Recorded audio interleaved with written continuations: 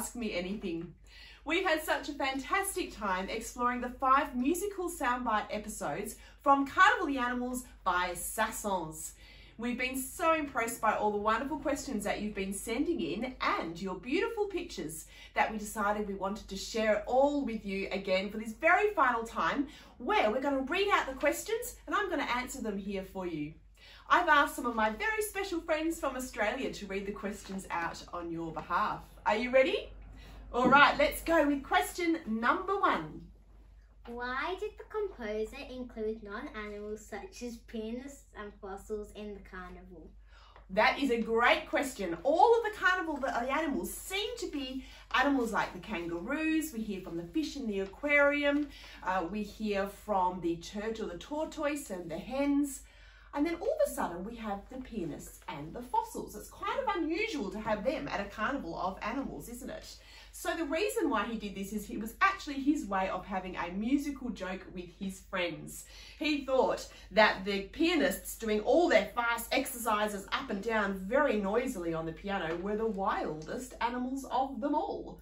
And the fossils bit of a, a little wink to all of the music that he includes, all the fossils, the old music of the time that he includes in his music of that piece. So it was his way of having yeah. a musical joke. Who's got question number two? Uh, I think I do. If the clarinetist uh, is playing, oh, I that one. If okay. the clarinetist is playing off stage, how do they know when to play? That's a really great question. It's um, when something says on the musical score, and, and when you saw the music for the cuckoo in the depths of the woods, it said on the music, dans les coulisses, which means uh, to be played off stage or behind the stage. So there's a few ways that they can do this. One of the ways, when you have a big stage in a theatre and you have a conductor, sometimes they have a very hidden, sneaky little camera which will film the conductor and I can conduct into the camera screen. So when the clarinetist is in the wings or behind the stage, they can see the conductor in a little TV screen and they follow the conductor's beat pattern in the screen. So that's one way they do it when they have a bigger theatre. Yeah, who's got question number three? Me. you go. Which movement do you like the most? That is such a tricky question because they are all so exciting. I think for me, one of the ones that I love the most would be the aquarium because it is so beautiful and peaceful and it's so beautifully written that it makes me feel very calm inside. So I think that would have to be one of my favourites. Who's got question number four? Uh, I do. Is Saint-Saëns your favourite composer? Who else are your favourites? I have so many favourite composers. I think I change my favourite every single day of the week.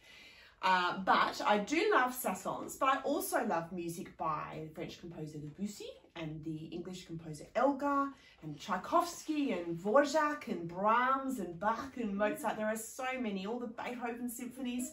I get to conduct so much wonderful music and I love them all for very different reasons. So a little bit of a tricky one to answer. Who's got question number five? Here you go. Why did you choose to become a conductor instead of a violinist? violinist? You play the violin so well. Oh, thank you. This was a very nice question from someone in Singapore. Well, I always knew I wanted to be a musician, but then when I started to conduct a little bit, I realised that I loved seeing all the different parts come together. And when I played the violin, I was just one of those parts, a bit like seeing just one colour on a painting. But when I became a conductor, I got to see all the colours on the painting. I got to see all the different parts coming together and it was sort of a different way of me being able to tell the story. So that's one of the things that I loved about being a conductor. But it's pretty pretty exciting when I get to pick up the violin. It's not very often, but I get to do it sometimes. So that's a bit of fun too. Who has a question number six from our Singapore Me. questions? Yes, Liv. How many instruments can you play? Oh, well, I guess properly would um, the answer would be violin. But when I was younger, I learnt piano and I did trumpet for a little bit. I've played mm. percussion in an orchestra before. And as a conductor, I need to be able to play a little bit of a lot of instruments. So I've tried my very hardest to, to play a little bit of lots of things so I understand all the techniques behind them as well. Okay, so who has question number seven? Me again. Lib. I really like the flute, but I'm only six. Is it too early to start learning it? Well, with instruments, there's not really one rule that suits all. With a wind instrument, it's important that you have the right size hands and fingers, but also your lungs so that you can breathe nice and deeply when you play the wind instruments. So sometimes they say maybe about the age of seven or eight, but definitely if you're six and you want to play the flute, I think that you will be able to do that, no problem.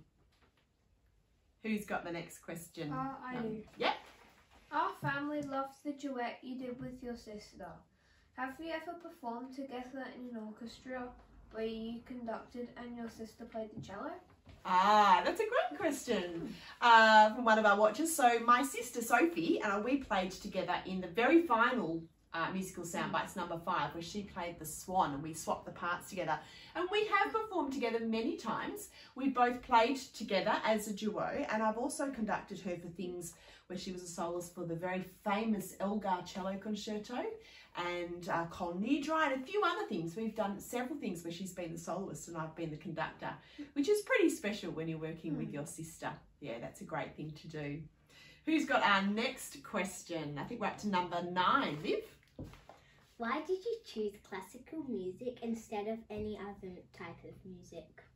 Ah, yeah. So somebody asked this. Why did I choose, choose classical instead of the other genres? Well, I don't think I really ever did. I've always loved classical music, and a lot of my work conducting is in classical.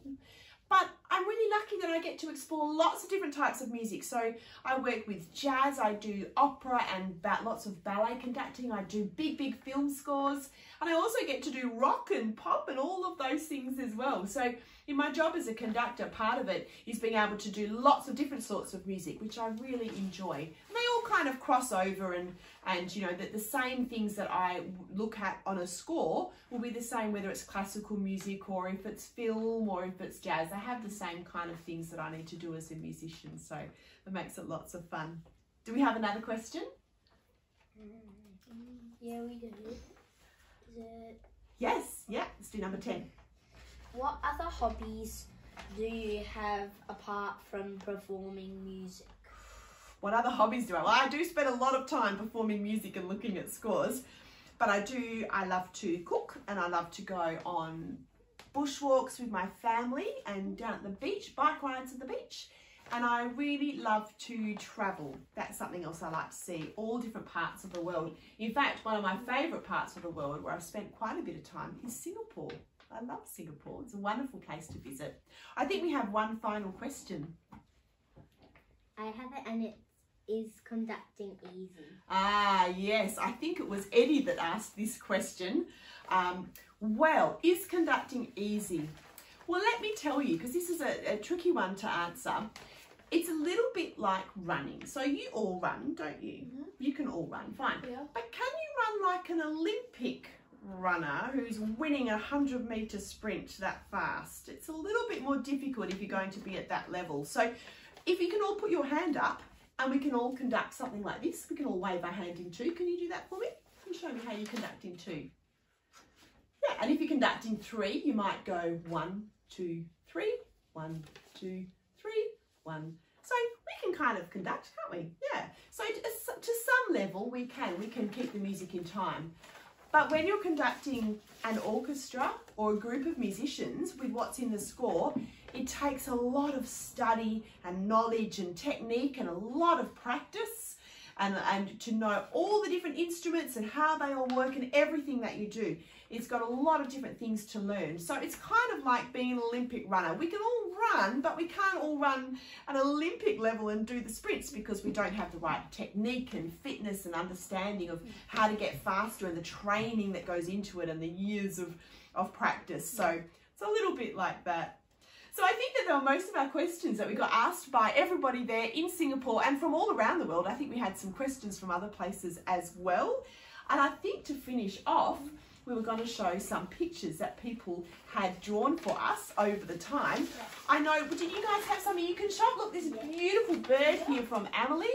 You have your elephant, your piano, Hugo, that's great. What about your lion there? And we also had quite a few that were sent to us, so we can't show them all, but here are just a few to show you we have this wonderful picture of Annie, who's five years old, and she's holding up her two brilliant pictures one of a lion and one of the hen or the cock from our first episode. A great big smile from five year old Annie there. And what do we have next by Stacey? So many brilliant pictures. Look at the aquarium. I can see the tortoise and the elephant, that tricky kangaroo, the person with the long ears, and the lion. Some wonderful pictures there by Stacey.